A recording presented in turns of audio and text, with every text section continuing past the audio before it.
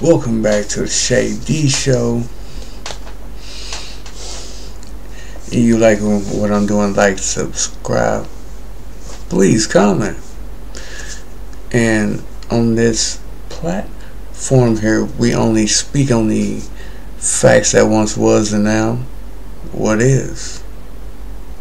And sh shout out to my homie and to my peoples, M-I-Z-Z-O-U. And I'm doing a reaction video on these goofy motherfuckers like, okay, I've been watching a lot of these videos on these people climbing these mountains and dying. Like it's it is ridiculous. Like like they have this adrenaline, which I get it. Like they want to conquer something. Like it isn't all of us to like do something. But god damn it, climb a mountain where there's no oxygen.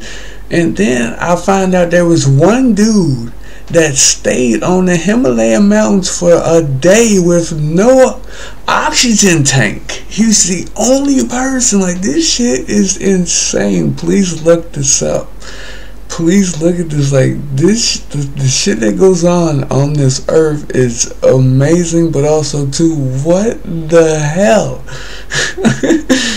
Let's get into it. 2023, already marking it as one of the deadliest years on the mountain. Over the last 50 years, the average death. Oh yeah, shout out to Terror Twin. They're on you YouTube and um, this is where I'm getting all of this info from. Look them up. Terror Twin on YouTube. The motherfuckers is something else, man. Alright, let's get back to it per year on Mount Everest is approximately 5, but we are more than double that number this year. With over 600 climbers reaching the summit, the number of climbers on the mountain continues to rise as the world views Everest as more of a tourist attraction. Hold on, hold on, look at this shit. I know my shit get up slow, but ain't no side to side here. This is the same. Do shit. The shit. These is these is people. It's people Till now, yeah, my shit's. I'm sorry, it's a a touch. But yeah, that shit's insane though, right? But if you mess with the mountain, hold on, hold on, hold on, hold on. That shit is crazy. Like you seeing all these people that want to climb mountains. Let's keep going. Return home. Two more families are stuck with the reality that their loved ones are not coming off the tallest peak in the world. This is their story. Drill around here.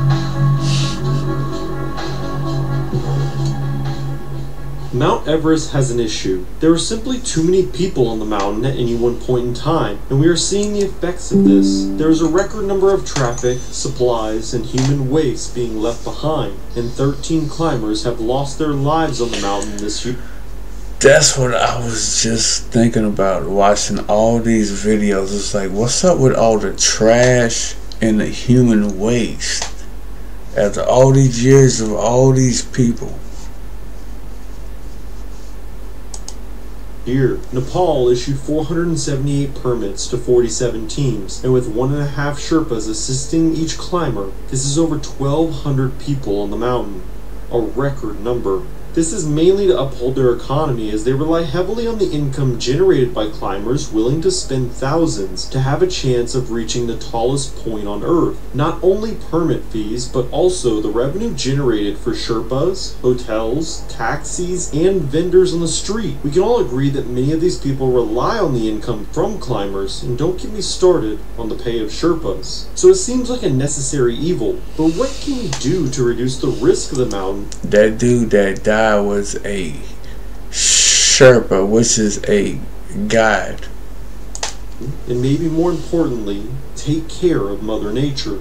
Well, there are initiatives to clean the mountains, such as the Nepal Army Mountain Cleanup Campaign. But we saw this year one of the Sherpas, a part of this initiative, sadly passed away on May 16th. The reality is that the permits are only increasing, and this means more people who are not ready to climb Everest will be testing their luck, not only increasing the risk for themselves, but also those that are ready in trying to achieve a lifelong dream. Dr. Peter Swart was an anesthesiologist from Canada who was ready to fulfill his goal of reaching the highest point in the world. Peter, originally from South Africa, had started climbing at the age of nine and since then grew up with the desire of taking These views are amazing, but I'm telling you, they have no oxygen at all. Not none.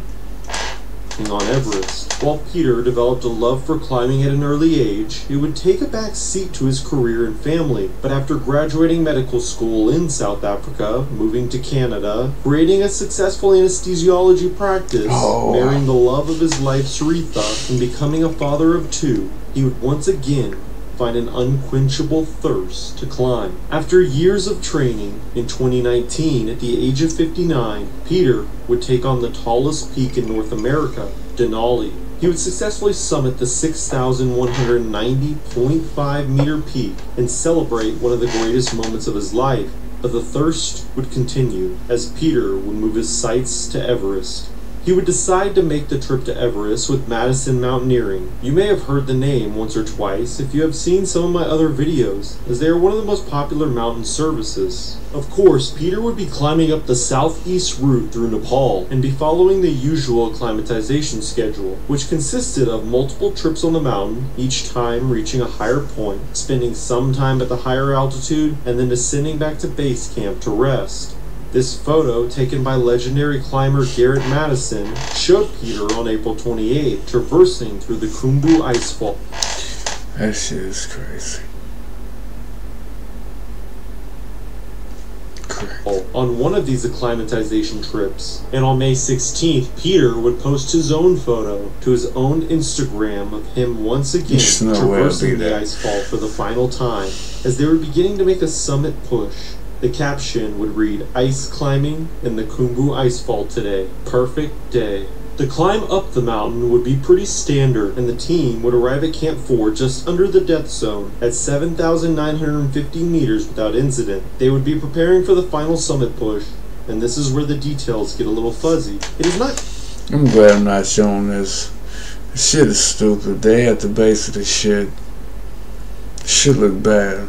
It it just looks bad. Just looks Peter, Peter did summit, but after entering the death zone, This he began to develop a dry cough that others Like would notice. facts. And because of the altitude, he would quickly develop respiratory issues. We all know the dangers of the death zone, where the oxygen is a third of what it is at sea level, but trying to climb the world's tallest peak with respiratory issues, well, it's not a good combo. Peter would have to descend the mountain, but his condition would only worsen to the point where his body could barely function. After traversing back to Camp 4 and on the descent to Camp 3 at 7,300 meters, just before reaching the Hold safety of the on, hold on. I'll tent, you, Peter's body Hold would on, I'll show you right unfortunately could barely function. After traversing. Can't afford. Look at that shit. Fuck all that. Can't afford my ass. Back to Camp 4 and on the descent to Camp 3 at 7,300 meters, just before reaching the safety of the tents, Peter's body would unfortunately collapse. The 63 year old would pass away soon after. The outpour of support from family and friends would soon follow, with a colleague of Peter describing Peter's sense of humor was second to none. Laughing was always part of the encounter, and you always parted smiling. He was a trusted friend to many. I don't believe Peter's story is one of a climber not ready to take on Everest, but more so the unfortunate reality that you can prepare your entire life and sometimes Mother Nature just doesn't care. But Peter would die chasing a dream, and there are a lot worse ways to go. It's everything you wish for. Your site traffic is skyrocketing until This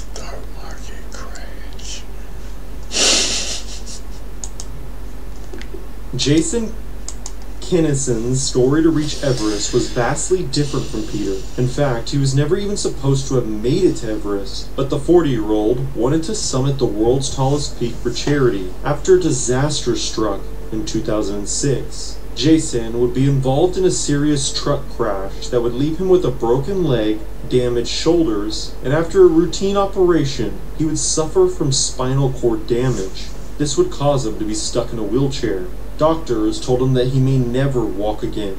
But Jason would begin rehab immediately, and within months, there would be a significant improvement in his condition. He would have to relearn how to walk, and that's exactly what he did. A year after his injury, he would return back to work in the mines, but it would take years before he was fully healed, and he never would be the same mentally. Well, I think Jason could describe it best. Looking back, took a lot of my confidence, uh, my self-esteem. I think each injury that I had, and that really affected, I guess, made me a bit more insecure. He wanted to climb Everest, not only because it was a dream of his, but to show that he could, and to raise awareness around spinal cord injuries. Look, look, look, look. I, I look. How can I put this? Hats off to everyone trying to to bring awareness to something. Straight up. From the top of my heart. Straight up. But from the bottom of my heart, why the fuck are you climbing Mount Everest? It doesn't make any sense.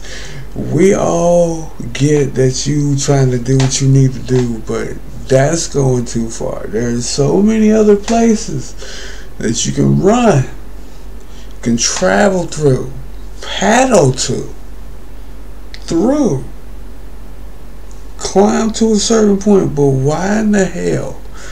That's why. That's what's coming from the bottom of my heart. Why in the hell are you going to the highest mountain to prove a point to the world about your cause? There's other ways that you can do shit that doesn't acquire you to lose your life like this or test the limits like this. Let's get back to it. He should have never even made it to the mountain, but the fact that he did was an achievement within itself. In 2023, I will head to Nepal to see and be on Mount Everest, a long way from once battling traumatic injuries and the low and dark days of depression. An ambitious feat that I would never have dreamed of or thought was possible after once being told that I would not be able to walk. I'm going to make the most of my life, and part of that involves helping other people who have had their life changed in an instant through spinal cord injury. They shouldn't be forgotten. They should be helped. That is like me. I am a gunshot victim. Like I, I I've been shot and shit, right? So that's like me coming up with a cause like for all the gunshot victims. I'ma go and climb a mountain. for everybody that's been shot, I'ma go cause just to make sure let everybody know what it's like. I'ma go, nigga, no. Nigga, no. Nigga, nigga, no. That's all I'm saying. Jason would be climbing with Asian trekking and had prepared by setting up a ladder in his backyard to become comfortable with traversing on the rungs. He would also travel to New Zealand before the expedition to practice rock climbing and altitude climbing. Similar to our first story, Jason would have no issues acclimatizing to the mountain, and in late May there was predicted to be a clear weather window to which the group would finally prepare for the summit push. After making their way through the Khumbu Ice Fall and up the mountain to the various camps, Jason felt good. His body was strong from all the training and Yeah, sucks. I'm preparation. sorry, this video of I need to Jason shows him just above. Camp 2, Mm. making his way up the mountain. They would make it to Camp 4 just under the deck But that knows that my shit worked, most Climbers get a small amount of rest before making the final push in the early hours of the morning. Jason would stand on the roof of the world on May 19th, once again proving just how much grit and determination he had, along with being an inspiration for so many. But as we all know, reaching the top of Everest is only half the battle.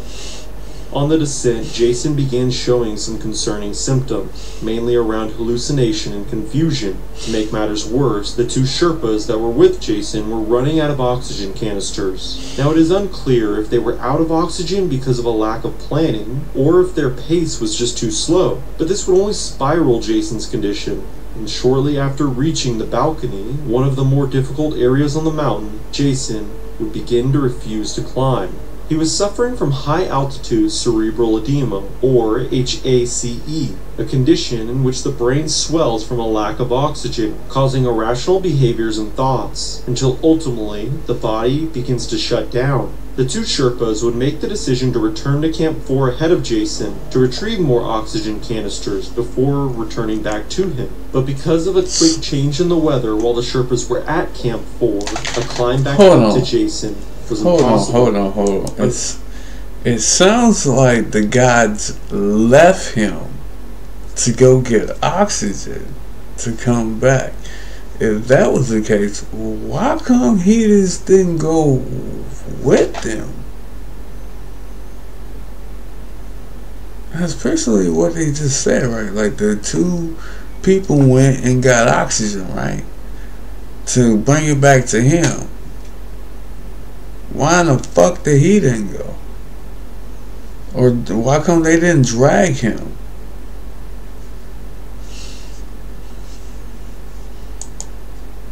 Fortunately, Jason would collapse just above the balcony at 8,500 meters and would sadly take his final breath. Like most climbers who would sadly perish in the death zone, nobody would be able to retrieve Jason's body, a sad reality that all climbers must face, forever being trapped above 8,000 meters. Jason's family would put out some touching comments, with his mother remembering her final words to her son. And I said, Well, just remember, Jason, please take it easy. Take care, and remember, I'll always, I'll always love you. And that was the last words we said. It's hard to deny his accomplishments, and even Jason's brother, Adrian, would state he made it in high spirits, doing what he wanted. There was the climb up, he had his photo on top of the summit. I do believe there is no denying that Jason achieved exactly what he wanted to. This season left many professionals on the outside fearful that we would have deja vu of 2019, with long lines of climbers seeking to reach the summit. But even with record numbers of climbers, we just didn't see this, mainly in part to the colder weather that sent a higher number of climbers home mid season, many with a persistent virus that was traveling around camps. But the reality still remains that there are more A virus that was traveling around camps. People don't know what's been locked in that motherfucking ice. That that shit's been there for a long time. There's shit that's been around there for a long time.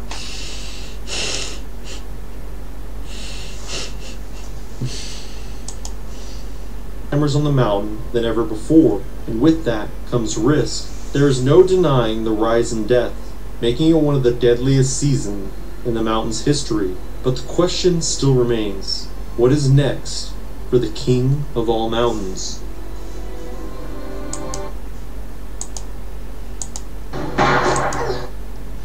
The next body that the motherfuckers gonna try to climb. They're like, yep, got him right there. Who, who is that? That's Bill. That's plus something P, maybe a Z. Yeah, get get him, get them. All right, y'all. I'm done. If y'all like what I'm doing, like, subscribe, comment. I lost my mouse. But uh, thank y'all for tuning in and haul.